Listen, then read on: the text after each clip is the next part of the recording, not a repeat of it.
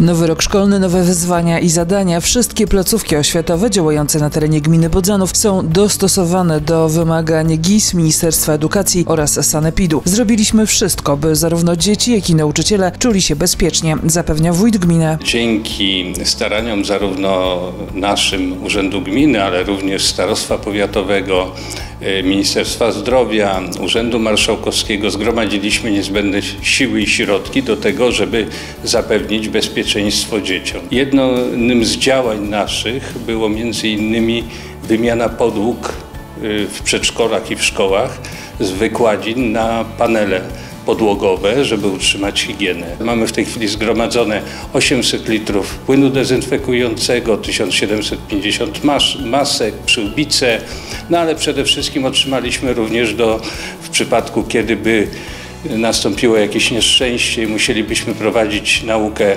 zdalnie, mamy dodatkowo jeszcze zakupionych 38 komputerów, laptopów.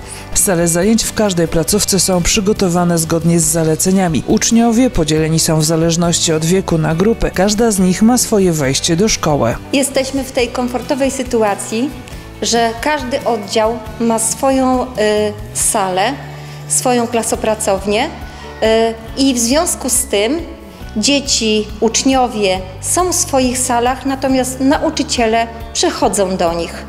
Y, przerwy będą się odbywać rotacyjnie, tak żeby zabezpieczyć dzieciom y, odległości, które zostały y, ustalone w wytycznych. W szkole obowiązuje dezynfekcja dłoni i mimo, że nie ma nakazu zakrywania nosa i ust, to maseczki są wskazane. Dla zapewnienia bezpieczeństwa do szkoły wchodzą tylko przedszkolaki i uczniowie. Gmina realizuje kolejne inwestycje drogowe, a od początku tego roku udało się zrealizować wiele kluczowych i oczekiwanych przez mieszkańców inwestycji. Łącznie to ponad 4 km dróg. W tym roku wydaliśmy w sumie 2,5 miliona złotych już. y, Zmodernizowaliśmy 4,2 km tych dróg. Z tego, y, jak dobrze pamiętam, 3,1 km to są drogi wykonane w technologii asfaltowej, a ponad kilometr to w Kruszywie łamanym dolomitowym.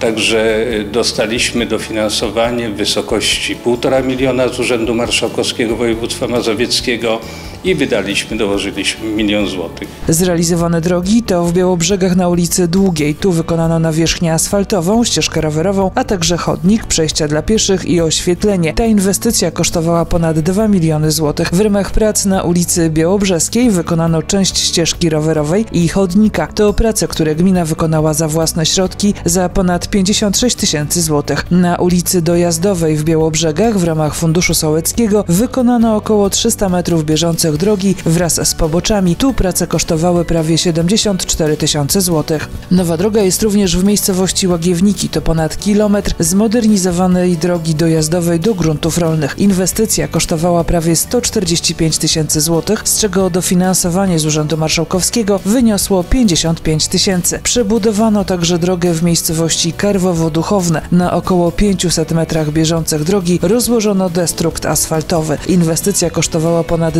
27 tysięcy złotych. Sfinansowano ją ze środków własnych gminy. Oczywiście w ramach Funduszu Sołeckiego również wydajemy środki i z Funduszu Sołeckiego wzbogacone środkami budżetu gminy.